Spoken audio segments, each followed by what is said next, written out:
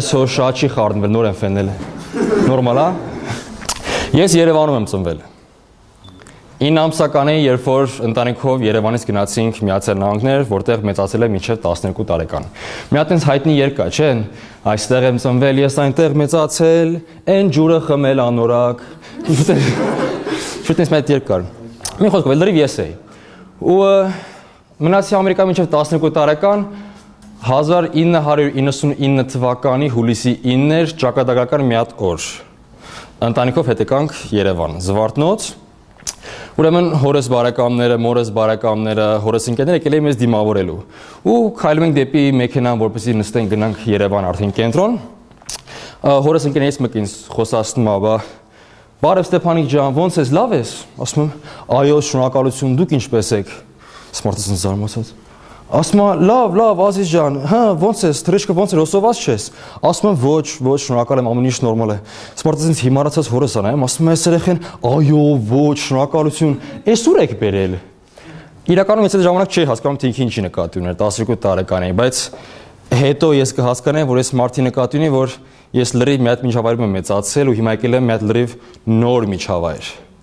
որովհետև ես ապրելու եմ Բանգլադեշում։ Դրա համար վերնագիրը Բարև Բանգլադեշ, երբ 12-ը եկա Երևան։ Մենք եկել ենք որպես զբոսաշրջիկ 99 թվին։ Պիտի 3 ամսով մնանք, հետո հետ գնայինք։ Մի անգամ, երկու անգամ հետազեկեցինք մեր վերադարձի տոմսը ու նենց եղավ որ մնացինք։ 7-րդ դասարանից սկսեցի հաճախել արդեն դպրոց։ Զեյթունում մի հատ դպրոց կա, միջև հիմա կա, կոչվում է ուսում։ Դպրոցի անունը ուսում է։ Մի քիչ խնդալու է, չէ՞ ոնց որ լինի, ասենք, բանկ անունը փող։ Ասենք ռեստորան անունը ուտելիք կամ ասենք կաֆե անունը կոֆե։ Մի տեսակ այն չի էլի։ Մի խոսքով։ Սկսեցի հաջողել դպրոցը մասնավոր դպրոցը փոքր դասարան է, 7-8 հոգի ենք դասարանում։ Ամեն ինչ նորմալ, լավ, հավեսով, մեկ էլ մի օր, չգիտեմ ոնց, չգիտեմ ինչի համար, դասարանցիներից մեկը մոտիկացավ ինձ, հրես բրտես դեմ տվեց պատին ու հայհոյ, հայհոյելը որը սա քրֆեց։ Շատ լավ հիշում եմ ինչ ասել, բայց դավայ ձեր ակաժները չլսնեմ դրանով։ Մի խոսքով քրֆեց ու առաջին անգամն էր, որ իմ տենց բաներ լինում, որ իմ հասակակիցը ինձ տենց բան ասում։ Չգիտեի ինչ ասեի։ Լեզուս կապ ընկավ, դեմքս ամոթից ու ջղանությունից կարմրեց, կարմրեցի, կապտեցի, սպիտակեցի, սևացա ու գնացի դուրս։ Գնացի դուրս ու չգիտեի ինչ անի, լեզուս կապ էր ընկել։ Ու մանթո։ Ահա որ մանթո եմ մտել երեխեք։ Ինչ անեմ, ինչ անեմ, միակ բանը որ մտածի կողմ անեմ, զանգեցի աղբերներից։ Խոսքը գնում է դվայորնի, այսպես ասած դվայորնի եղբայրներից մասին, մորակոչս տղաների, Սմբատի ու Գառնիկի մասին։ Զանգեցի, ինչա։ Բանգլադեշցի։ 100%։ Իրանք իդե բերկուսում են, մենք էլ են բանգլադեշցի։ Զանգեցի աղբերներից, ասեցի սենց սենց բան, կատաղել էին մի այլ ձևի։ Մի խոսքով, հաջորդ օրը եկան դպրոց, տեսան այդ տղուն, տղեն որն է, երեխա էր, ինպես 12-15 տարեկան լակոտ էր։ Մի խոսքով, վրա մատ թափ տվեցին, խելք բացատրեցին, ինձ եկավ ներողություն խնդրեց ու ավարտվեց ամեն ինչ։ Դպրոցում ինձ էլ բանասող չկար։ Թվում է թե է ամեն ինչ արդեն ես ինձ լավ զգամ, ես ինձ հաղթած զգամ, չէ՞։ Ընթակարակը ընդհակառակ, եթե առաջ ինձ մանթու էի զգում, հիմա վապշե մանթուն կողել էր երեխեք, որտեվ փաստացիորեն հերիքի հերիքի խնդիր ունեի։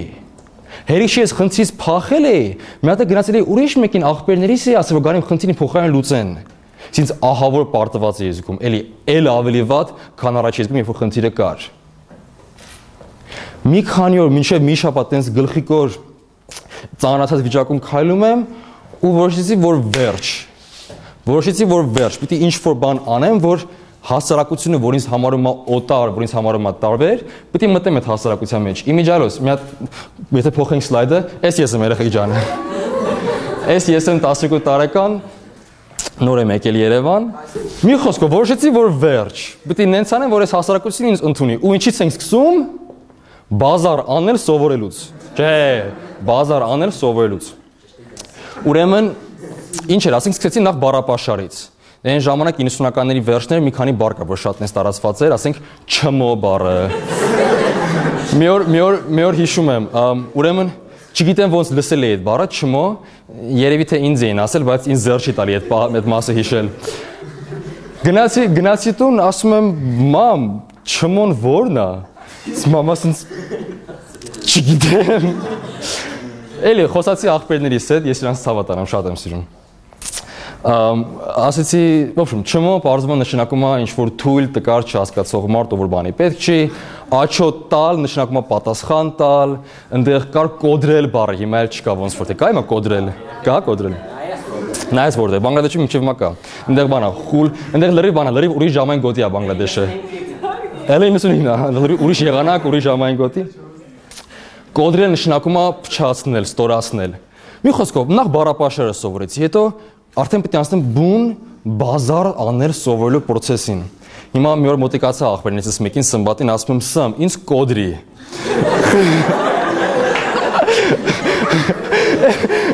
Ախպերը զարմացել ասում, «Բա ի՞նչ ես ուզում ինձնից»։ Ասում չգիտեմ, հետս բազար արա, հետս խոսա, վիզ դրի, որ ինձ կոդրես, ես փորձեմ դիմանամ, ես քեզ կոդրեմ։ Ասեց ապե դու լավ տղա ես։ Ասի, պրինցիպի, պրինցիպի հանցագործ չեմ, ես չեմ այլ, այն չեմ այլ, բադմա չեմ այլ։ Ասի, հա, լավ տղա եմ։ Ասես, «Всё, ապեր, դու կոդրվար»։ Ասի, Ասեցի, ասի, ի՞նչ պետք է ասեմ։ Ասում եմ, ապե, որ քեզ ասում են դու լավ տղա ես, պետք է պատասխանես շրջապատիցս հարցր, ապե ջան։ Հետո տենց տենց սովորեցի, որ ասենք, եթե մեկը քեզ ասում է, ապե կարաս հետ համար աչոտ տաս, դրա պատասխանը էս է։ Խի ապե դու աչոտի գել ես։ Ասենք, էտել էտել պատասխանոներ։ Այդ հին այդ հին 90-ականների բաներն է, չէ՞։ Այդ էլ իրականում պատասխանում է, բայց մոռացել եմ պատասխանը ինչա։ Մեկ էլ ասենք բաներ, ասում է թե քեզ դիում են արայով, պատասխանի արաչի ապերա։ Ու եթե մի քիչ գլամուրնի դեմ քեզ, եթե մի քիչ գլամուրնի դեմ քեզ։ Լսի, լսի, լսի։ Ասում է թե մի քիչ գլամուրնի դեմ քեզ, պատասխանի արաչի, արքայա։ Իրականում այն ժամանակ չկար գլամուրնի հասկացությունը ինչ-որ նոր տիպիզություն է։ Մի խոսքով, ու տենց ես սովորեցի բազար անել, կամ ինձ թվաց, որ ես սովորում էի բազար անել։ Թվացել է, չէ՞։ Դու վերջը լսի, դու վերջը, դու դաշին լսի։ Բայց ես զգացի, որ միևնույնն է, դրան զուգահեռ ես շարունակում եմ ինչ որտեղ մնալ մերժված, չընդունված, օտար ու տարբեր հասարակության կողմից։ Ու այդ ամեն օր, որ մնում է հասարակության մեջ, զգում եմ, որ այդ այդ այդ ամբողջ ճնշում մեջից ինչ որ կուտակում է, ինչ որ ջղայնություն, բարկություն, ինչ որ ագրեսիա, ու եթե տենց մնար, լավ չէր լինելու, բայց փոխարենը փոխարենը գտա մի հատ միջավայր, որ լրիվ իմն էր մի հատ աշխարհ, մեն մենակ իմ աշխարհը, սկսեցի party գնալ։ Breakdance, ազատ ոչի պար։ Էդ իմ էդ իմ էդ իմ աշխարհն էր, իմ ազատության աշխարհն էր, երեխեք։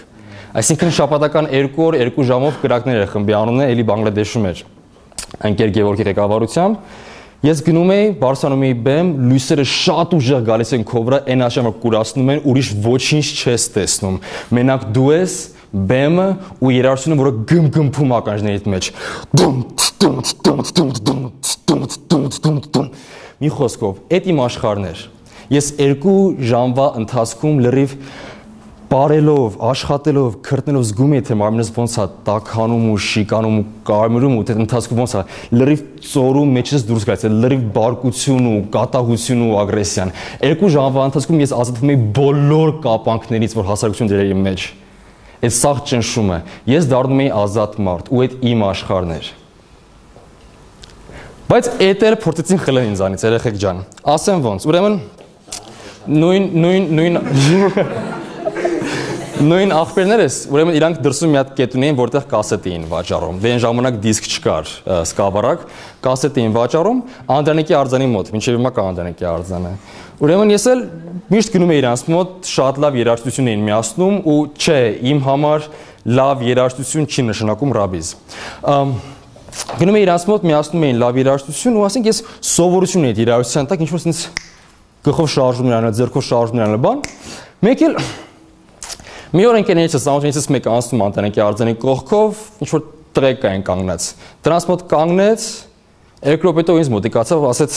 «Բարև, բարելուս», ասեց Ստեփան ջան, արի դու մի բարի, էլի, ամոթա, սաղ նայում են քեզ խնդում են։ Արի մի բարի, էլի։ ես էլի մանթուն գասի, բայց բայց ինչի, լավ, ու իրոք ինձ վատը զգացի դրա համար։ Կանգնեցի մի պա, ասի լավ, չեմ բարի։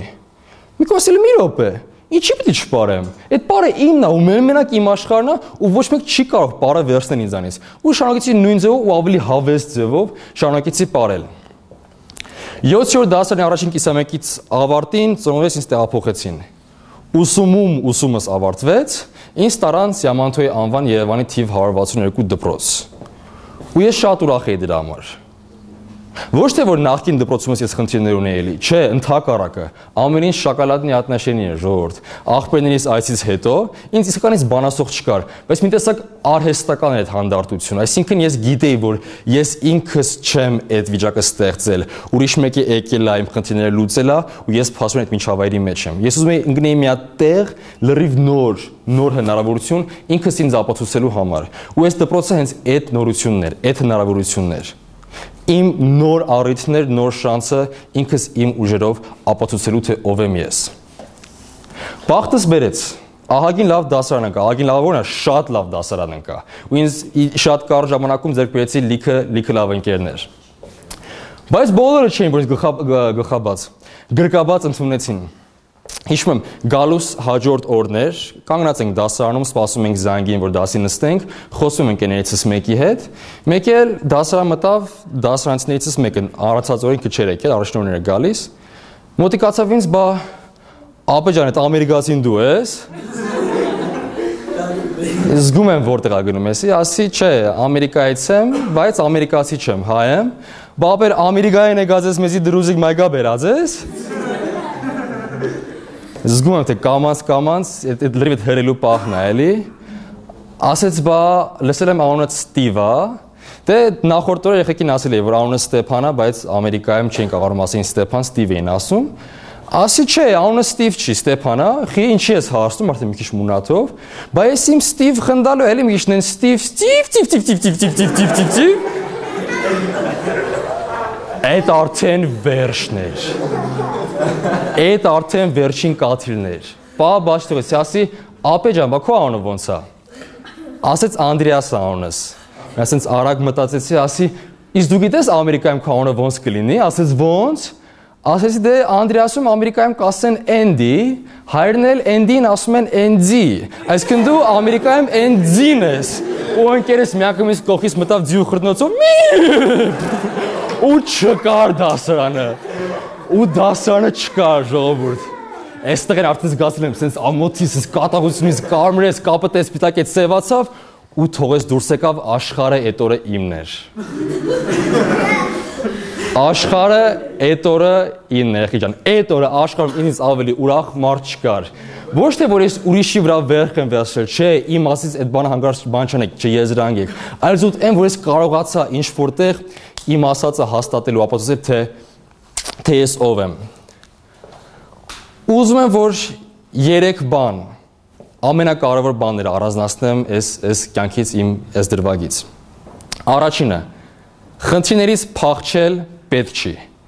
Որտե ձեզ թվում է այդ խնդիրից փախնում եք լուծում այդ խնդիրը չկա տենց բան։ Ավելի է վատանում։ Երկրորդը, խնդիրը դարձու քո առավելությունը, օգտագործի քո օգտին։ Այսինքն ես եթե չլինեի այս հասարակության մեջ, այս միջավայրում չզգայի ճնշումը, ես չէի գնալու բարի ու արդյունքում այս վիճակից չէի նիհարելու, չէի կոփվելու, ամրանալու, ձեռք բերեի նոր շրջապատ ու ինքնավստահություն ու ասեմ ձեզ, դրանից հետ բարից հետո սկսեցին ավելի շատ սիրուն աղջիկներ իմ հետ խոսալ, բայց այդ ուրիշ օպերայից է։ Այսինքն խնդիրը օգտագործի քո օգտին։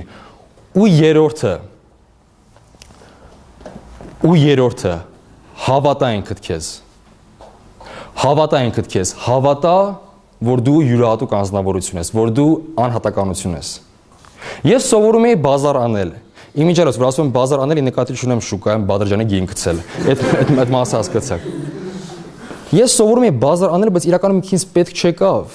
Ես վերջում բազար չարեցի Անդրեասի հետ։ Ես իրականում եղա այն մարդը, ով ես իրականում կամ մի քիչ ճարպիկ մտածողությամբ, մի քիչ པարզ, մի քիչ ճարպիկ լեզվով։ Այսինքն պետք չի փորձել ուրիշներին նմանվել եւ կորցնել քո դեմքը։ Եղեք յուրահատուկ։ Ու գիտեք ես ես ինչ եմ ուզում ասեմ երեխեք։ Ես ես ուզում ասեմ շնորհակալություն։ Դուք ինձ շատ եք օգնել։ Որովհետեւ եթե չլինեիք դուք, եթե չլիներ այս առիթը,